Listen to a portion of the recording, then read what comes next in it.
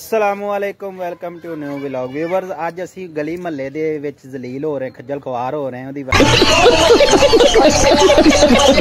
ਵਜ੍ਹਾ ਇਹ ਹੈ ਕਿ ਬਾਰਿਸ਼ ਬਹੁਤ ਹੋਈ ਆ ਤੇ ਨਾ ਚਿੱਕੜ ਦੇ ਨਾਲ ਅਸੀਂ ਜਨਾਬ ਕ੍ਰਿਕਟ ਖੇਲਣੇ ਆ ਤੇ ਹੁਣ ਫਿਲਹਾਲ ਚੱਲ ਰਿਹਾ ਮੈਚ। ਆ ਦੇਖੋ ਜਨਾਬ ਰਾਉ ਸਾਹਿਬ, ਰਊਫ ਤੇ ਇੱਧਰ ਆਪਣਾ ਤਾਰਫ ਕਰਾ, ਬੈਟਸਮੈਨ ਸਾਹਿਬ।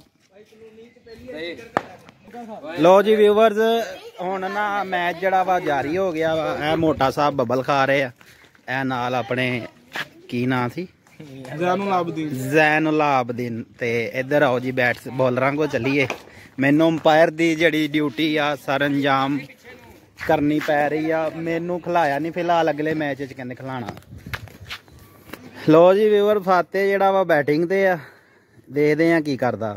ਲੋ ਜੀ ਸ਼ਾਟ ਮਾਰੀ ਸਿੰਗਲ ਇਹ ਬੌਲਰ ਬੋਲਿੰਗ ਕਰਾਤੇ ਹੋਏ ਵਾਈਟ ਬਾਲ ਲੋ ਜੀ ਇੱਧਰ ਮੋਟਾ ਸਾਹਿਬ ਆ ਗਏ ਬੋਲਿੰਗ ਤੇ ਤੇ ਬੋਲਿੰਗ ਤੋਂ ਬਾਅਦ ਹੁਣ ਅਗਲੀ ਬੋਲਿੰਗ ਕਹਿ ਰਹੇ ਆ ਕਿ ਤੈਨੂੰ ਅਸੀਂ ਅਗਲੇ ਮੈਚ 'ਚ ਖਿਲਾਣਾ ਇਸ ਲਈ ਮੈਂ ਵੇਟ ਕਰ ਰਿਹਾ ਲੋ ਜੀ ਵਿਊਅਰਸ ਮੈਨੂੰ ਵਾਰੀ ਨਹੀਂ ਦੇ ਰਹੇ ਡਰਦੇ ਕਿ ਚੌਕੇ ਛੱਕੇ ਬਹੁਤ ਮਾਰਨੇ ਨੇ ਨੋ ਬਾਲ ਨੋ ਬਾਲ ਕੈਮਰੇ 'ਚ ਵੀ ਆਈ ਆ ਵਲੌਗ 'ਚ ਆ ਗਈ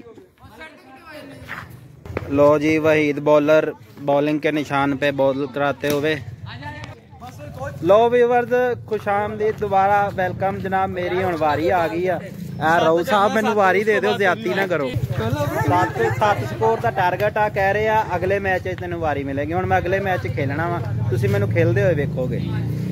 ਲੋ ਜੀ ਵੀਵਰਸ ਮੁਬਾਰਕ ਹੋਵੇ, ਮੇਰੀ ਜਗ੍ਹਾ ਬਣ ਗਈ ਟੀਮ 'ਚ, ਹੁਣ ਮੈਂ ਖੇਲਣ ਲੱਗਾ ਵਾਂ, ਤੇ ਹੁਣ ਤੁਸੀਂ ਦੇਖੋਗੇ ਚੌਕੇ ਛੱਕੇ ਮਾਰਾਂਗੇ।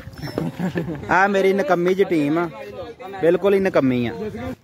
ਲੋ ਵੀਵਰਸ ਮੇਰੀ ਆ ਗਈ ਬੈਟਿੰਗ ਤੇ ਮੈਂ ਤੁਹਾਨੂੰ ਮਿਲਦਾ ਬੈਟਿੰਗ ਤੋਂ ਬਾਅਦ ਆਊਟ ਹੋਣ ਤੋਂ ਬਾਅਦ। ਤੇ ਇਹ ਆਪਣਾ ਭਾਈ ਸਾਹਿਬ ਬਣਾਣਗੇ ਉਨੀ ਦੇਰ ਵੀਡੀਓ ਵਲੌਗ ਕੈਮਰਾ ਫੜਨਗੇ ਕੈਮਰਾਮੈਨ ਬਣਨਗੇ ਥੋੜੀ